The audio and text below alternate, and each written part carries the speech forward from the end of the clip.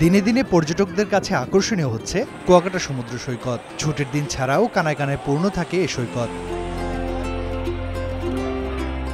সূর্যাস্ত ও সূর্যোদয়ের বেলাভূমি এই সৈকতে পর্যটকদের বালির আলপনায় ফুটে উঠল মৎস্যকন্যা। এমন নান্দনিক চিত্র ফুটিয়ে তুলেছেন গাজীপুর থেকে ঘুরতে যাওয়া রফিক ও তার বন্ধুরা। যেহেতু সমুদ্রকন্যা কুয়াকাটা, সেজন্য একটু সমুদ্রকন্যা মানে বানাইলাম। এটার নাম দিছি আমরা মৎস্যকন্যা, মাছের আকৃতি কিছুটা। তো এটা হঠাৎ করে আসছে আমাদের মানে আমার ফ্রেন্ড আর একটা বড় ভাই আছে এখানে ওনার মাথা থেকেই। তো আমিও কিছু হালকা পাতলা আর্ট পারি তবে আমাদের কোনো প্রাতিষ্ঠানিক শিক্ষা নেই।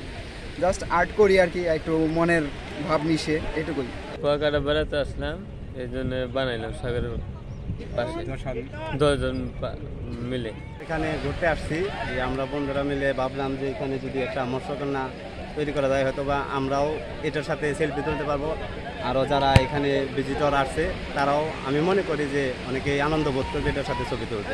যে যেহেতু এই কুয়াকাটাটা হচ্ছে গিয়া সমুদ্রকন্যা নামে পরিচিতি।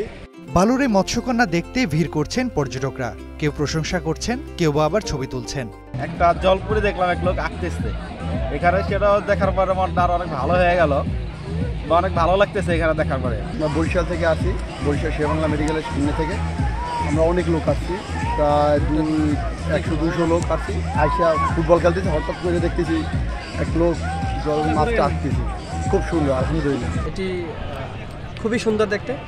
আর বিশেষ করে এটি পর্যটকরা ইতিমধ্যে অনেকে দেখছেন সেলফি তুলছেন। আমি মনে করছি যদি এটিকে বাস্তব রূপ দেয় অর্থাৎ যদি এটিকে সিমেন্ট দিয়ে বালু দিয়ে এটি ক্ষণস্থায়ী স্থায়ীভাবে যদি সিমেন্ট দিয়ে এটি তৈরি করা হয়, তাহলে পর্যটকরা ভিন্ন একটি বিনোদন পাবে।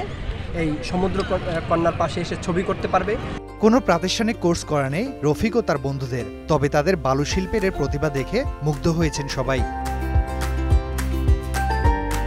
তৌহিদ হাসান, কালবেলা।